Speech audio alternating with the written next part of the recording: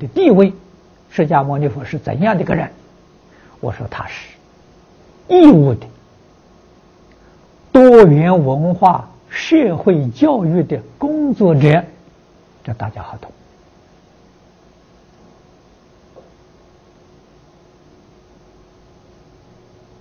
知道释迦牟尼佛是个什么人，我们对他这个敬仰之心呢，就升起了。我们很乐意的向他学习，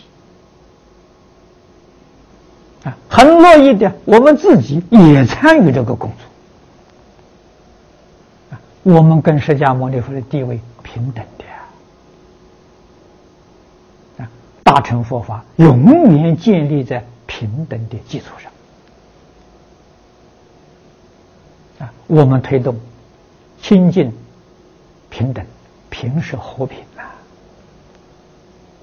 等是等同啊，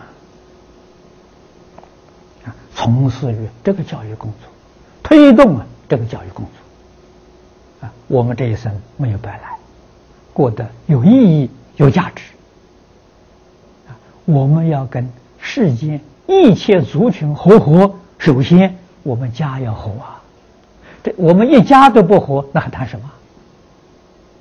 中国人常讲“家和万事兴”呐，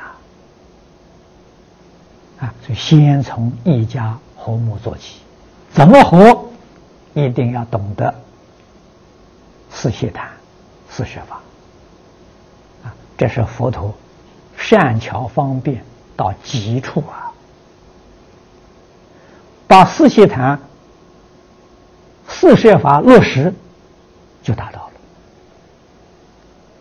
了。啊家就和了，啊！你要是公司行号，你你你的一一个公司一个行号也和了，啊！你治理一个国家，国家也和了，啊！我们教育这个世世界一些人民，世界人民就和睦了。好，今天时间到了，我们就讲到此地。